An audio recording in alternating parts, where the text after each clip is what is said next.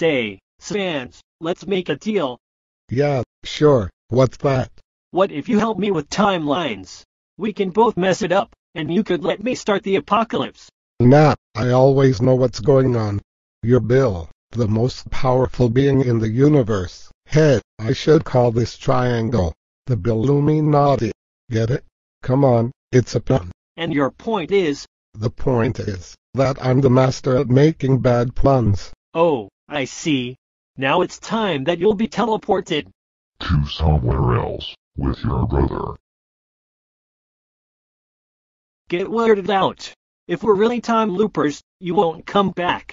Ha ha ha ha ha ha ha. Well, I'll be off. I couldn't get the triangle.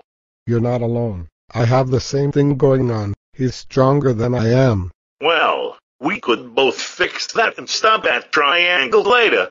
I'll go find some spaghetti.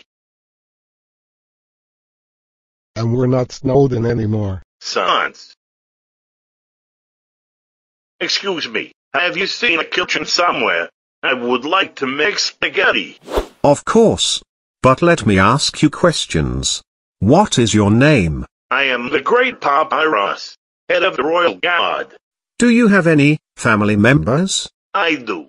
My brother's name is Sans. Oh goody. I will guide you to the kitchen. I'll have you know that my best friend, Fluttershy, had never tried spaghetti before. Now I will make spaghetti for your friend. I am pleased to hear that you like my homemade spaghetti. Yum, um, if you don't mind if I asked, can we see each other sometime? Really? We could be friends. Of course, I will be able to visit your cottage in sometime. Oh, and you'll be meeting my brother. You will notice him being lazy and making puns though. Anyways, I'll be seeing you next time. Bye bye. Bye.